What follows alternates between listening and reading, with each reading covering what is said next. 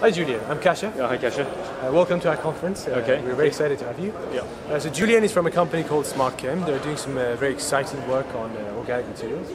Uh, so would you like to explain briefly what you do and then I'll ask you some technical Uh, questions. what I do? Well, well SmartKem uh, firstly uh, makes high performance uh, uh, organic materials uh, specifically for organic thin film transistors.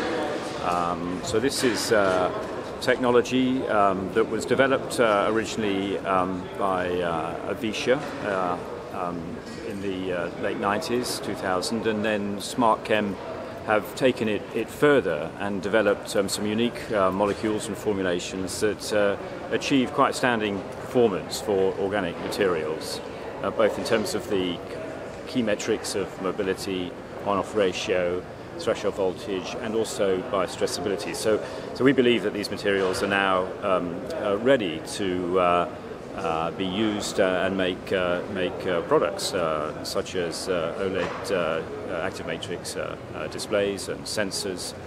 And you know the key attributes really are the um, low process temperatures, uh, their solution processed materials, um, and and they can be um, integrated into uh, existing manufacturing processes. So there's no big uh, capital expenditure to, to use these materials.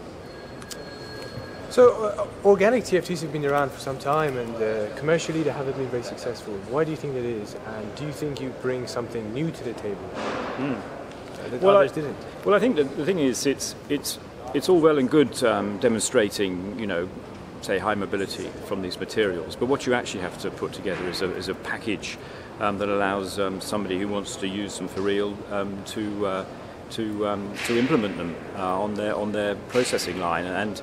And, and once you start doing that, you find that uh, maybe you didn't have everything um, nailed. You know, you didn't have the bias stress stability, you didn't have the usability of materials.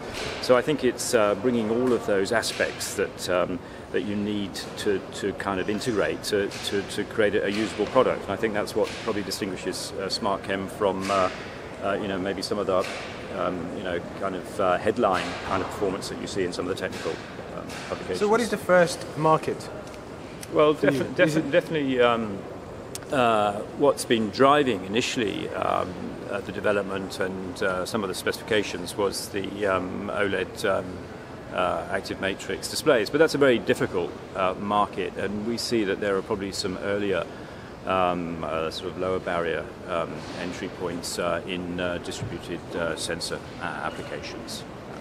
And how do you see the threat of metal oxides, you know, technologies like IGZO and so on that have a have a relatively high mobility that can be processed at uh, room temperature or slightly higher temperatures on uh, Well, yeah, I mean, IGZO, I- IGZO is a threat. I mean, there are definitely issues uh, of, of around bias stress stability, and, and I'm sure with some work that will be sorted out.